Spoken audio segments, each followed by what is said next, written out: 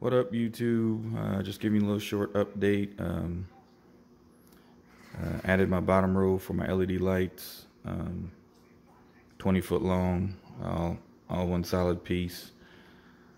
I had that in the design for my entertainment center. Uh, so I made the top come out a little bit more, and then when I added the trim, I could either just put it right up underneath there.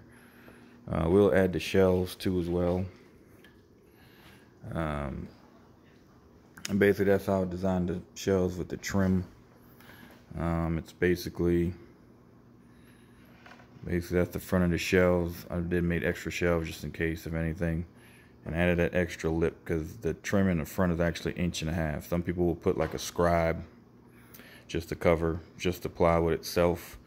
But I made like that, that way, and this is just an example, that way I could just mount the LED right underneath there. And what I'm gonna do, I'm gonna run some, cut each piece and then run some separate wires. That way, that way for the stiles, it'll, um, it's actually gonna hide because all of it just goes all straight in. So I run separate wires in the stiles and then only the LEDs will be on the shelf itself. And that I'll have a different remote for it. So that's a whole nother project. But um, other than that, uh, that's just a short little upgrade, I guess. And running those wires is gonna be a healthy task and make it look clean, flush, and everything else. So thank you, appreciate you watching. And um, actually, these remotes these LEDs I bought is actually uh, for RF signal.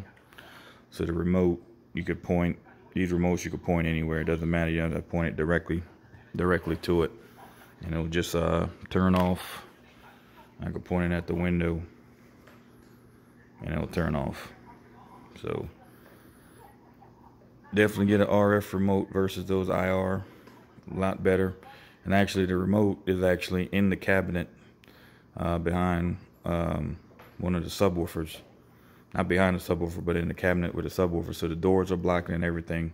It's actually on the right hand side, and it um, and it, and it works fine. So, well, definitely appreciate it. Uh, hope everybody have a great weekend, and uh, have a happy Father's Day weekend too as well.